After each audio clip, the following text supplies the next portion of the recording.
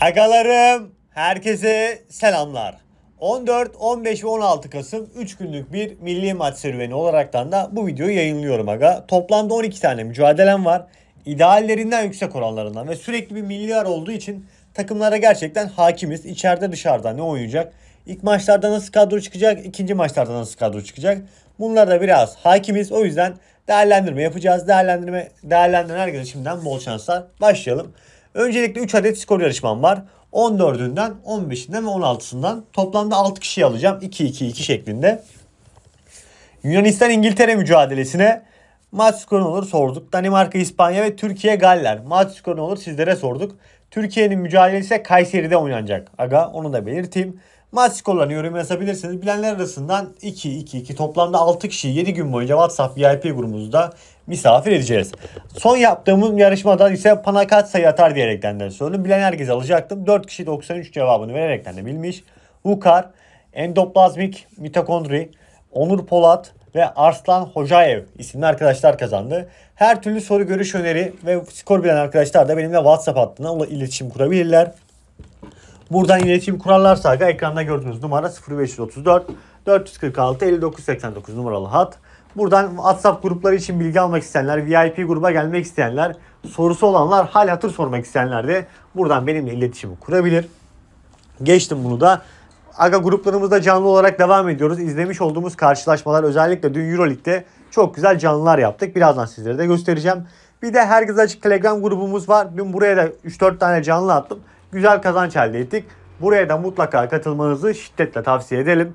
Açıklama ve yorumlar kısmında linki var. Buraya katılmak ücretsizdir. Bunun da bilgisini verelim.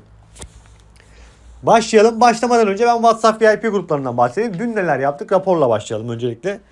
Öncelikle şöyle şuradan gelelim. Şimdi Fenerbahçe'ye aldık ki devre arasında canlı 2 olarak da %5 olarak aldık. Kasayı da biz yönettiğimiz için canlılardan o şekilde devam ediyoruz. 142,5 aldım. Dedim ki 3. çeyrekte 38.5 üstü olabilir diyerekten aldım. Buna da %3 aldım aga. 1.55 oranı vardı. Sonra bir dakikalık bir ses kaydı. Bilim olaraktan da anlattım. Ondan sonra 3. çeyrek 60 sayı çıktı neredeyse. 38.5 üstü aldık. Sonra 142.5 üstü de aldık mı aldık.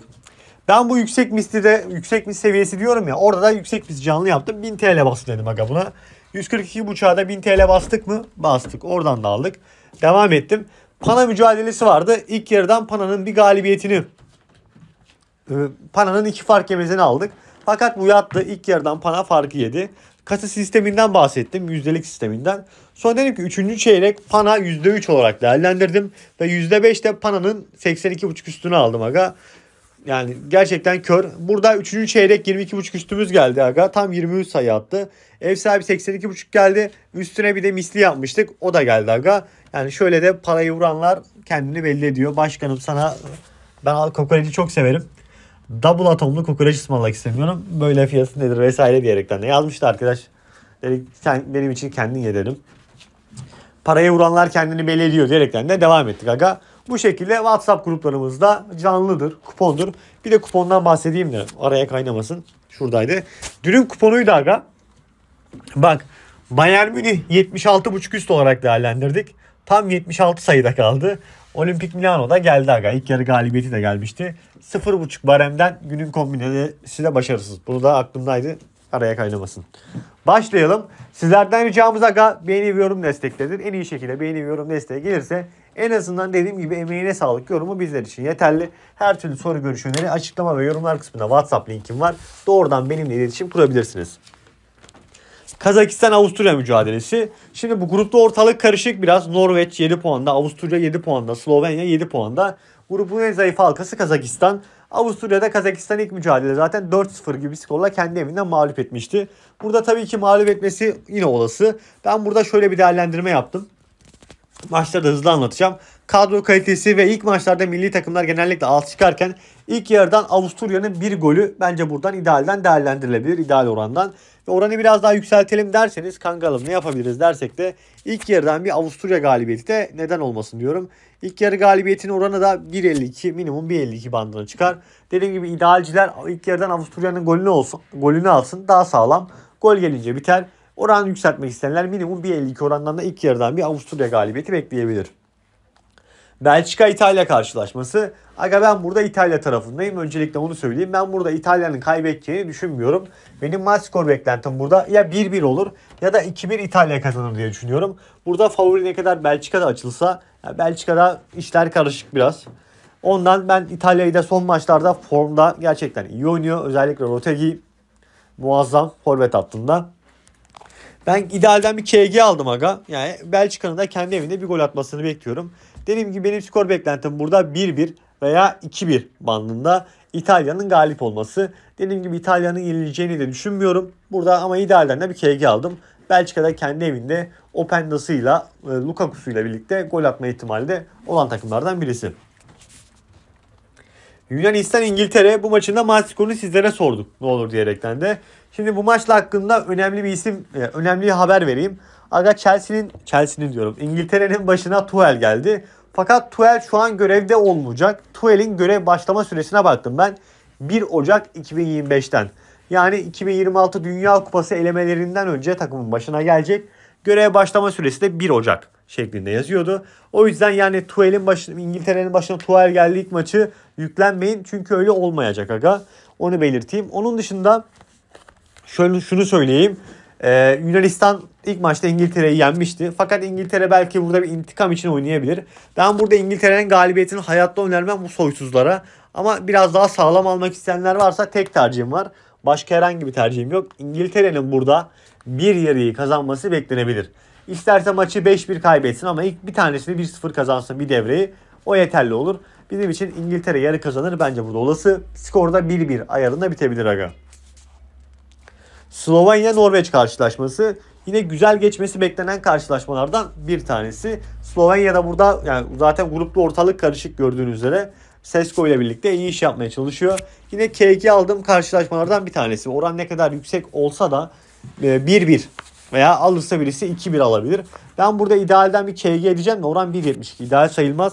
Biraz daha yüksek oran isteyen varsa veya ben e, tarafa veya karşılıklı gol beklemiyorum. Toplam gol aralığı 2-3 gol alıp kaçabilirim derseniz de toplam gol aralığı 2-3 golde kalabilecek maçlardan bir tanesi bence. Ayın 15'ine geçtim. 15'inde de 4 adet karşılaşmamız var. Her türlü soru görüş öneri için ekranda gördüğünüz WhatsApp hattından mesaj atabilirsiniz. Ayrıca WhatsApp VIP gruplarına dahil olmak isteyenler canlılar, kuponlar ve yüksek misler için de aynı şekilde buradan benimle iletişim kurabilirsiniz. Başlayalım. Portekiz'le Polonya karşılaşması. Burada ben Portekiz tarafındayım aga ama şöyle bir Portekiz tarafındayım. Oran alamazsınız burada Portekiz tarafını. Korner alacağım. Portekiz'in son maçlarında da korner özellikle kanatlardan oynadığı için ve bu orta alandaki oyuncular şut denemesini yaptığı için Bruno Fernandes olsun, Ronaldo olsun korner çok çıkıyor. Polonya'da kornere eşlik edebilir bence bir yerlerde. Aslında şu varsa oran şu an açık değil. Kornerler maç günü açılır muhtemelen. 8.5 üst korner okey ama ilk yarıdan en çok korneri Portekiz falan kullanır. Yani tek korner maçı olarak bunu gördüm. Bunu aldım. Danimarka ile İspanya. İspanya tarafından Lamin Yamal olmayacak. Rodri olmayacak. Zorlu bir maç olur. Ben burada İspanya tarafına gitmeyeceğim aga. Ne kadar oyun sisteminin aynı devam etseler de o tiki taka, tiki taka futbolunu Danimarka zorlu bir rakip burada. Tek bir seçeneğim var burada. İlk mücadele 1-0 bitmişti.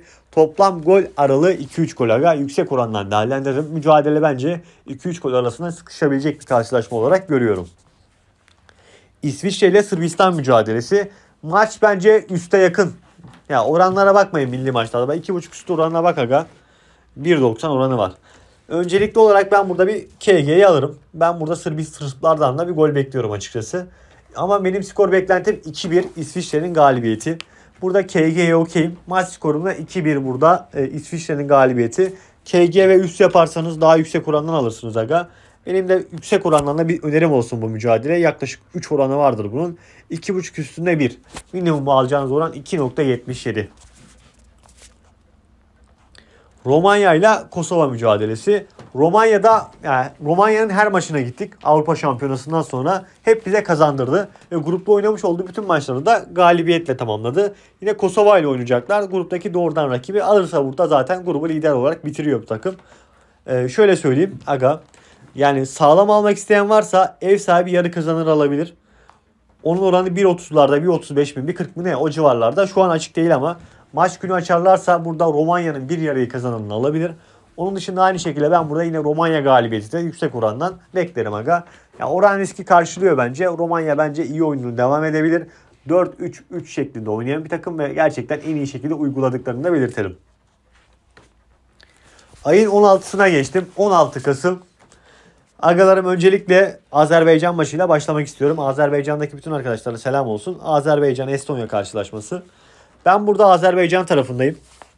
İlk mücadeleyi 3-1 Estonya'ya karşı galip mağlup oldu Azerbaycan. Grupta şu an puanı yok. Estonya'da 3 puanını Azerbaycan'dan aldı. Ama o maçı ben takip ettim. Azerbaycan'ın daha iyi oynadığını söyleyebilirim. Ben burada tara- taraftar önünde Azerbaycan'ın galibiyetini bekliyorum. Doğrudan maç sonu 1 olarak değerlendirdim. Geçtim Türkiye Galler mücadelesine. Bu maçın maç skorunu sizlere sorduk. Ne olur diyerekten de yorumlara yazabilirsiniz. Öncelikle maç Kayseri'de oynanacak. Doğru değil mi? Aynen Kayseri'de oynanacak. Agalarım. Galler ya sağlam oyuncuları var ama bizim oyuncularımız gerçekten çok formda. Arda oynayacaktır muhtemelen.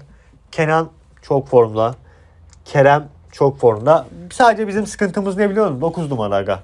9 numarada kim oynar? Kenan'ı mı denerler? Bilmiyorum. Solda Kerem veya Kerem oynar. Kenan da var. O ne olacak bilmiyorum. İki tane formda oyuncumuz. Belki Kenan'ı 9'a çeker ama 9 numara sıkıntımız çok bariz belli. Galler gol atabilir mi? Atabilir ama ben burada taraftarımızla birlikte sağlam almak isteyenler varsa ev sahibi bir yeri kazanır alabilir. Bunun güzel oranı var. Bence Türkiye burada bir yeri kazanır. Değerlendirilir. Onun dışında bir maç sonu galibiyeti de bekledi, bekliyorum aga. Oran riski de karşılıyor. Ev sahibi yarı kazanır benim ideal tercihim. Maç sonu bir de daha yüksek oranlı riski taraf tercihi her zaman risklidir. Değerlendirilebilir. 2-1 bandında bir skorum var. Sizler de bu maç hakkında maç skorlarınızı yoruma yazabilirsiniz. Arnavutluk Çekya ilk mücadelede doğrudan Çekya'nın galibiyetini vermiştik. 2-0 şekilde kazanmıştı Çekya. Burada bence 1-1'e yakın bir karşılaşma. O yüzden benim tek tercihim var. 2-0'la da yanıma alalım diyerekten de yüksek orandan toplam gol aralığı 2-3 gol bandını değerlendirdim. Zaten bu milli maçlarda çok da gol çıkmıyor. Genelde maçlara bakın hep 2-3 gol aralığına sıkışıyor. Zor maçlar oluyor çünkü. Yine 2-3 gol tercihinde kaldım burada. Son mücadelem İsveç ile Slovakya karşılaşması. Ben burada da İsveç tarafındayım. Slovakya ile birlikte grupta çekişiyorlar. Ama ben burada İsveç'in atacağı 2 golü değerlendirdim. Ev sahibi 1.5 üstün oranı 1.50 bandında değerlendirdim. İsveç tarafından 2 gol bekleyeceğim aga. Her türlü soru görüş öneri için WhatsApp hattına iletişim kurabilirsiniz. 3 günlük maçlarımız bu şekildeydi. Değerlendirecek herkese bol şanslar. Video like atıp kanala abone değilseniz abone olmayı unutmayın. Görüşmek üzere. Seviliyorsunuz. Bay bay.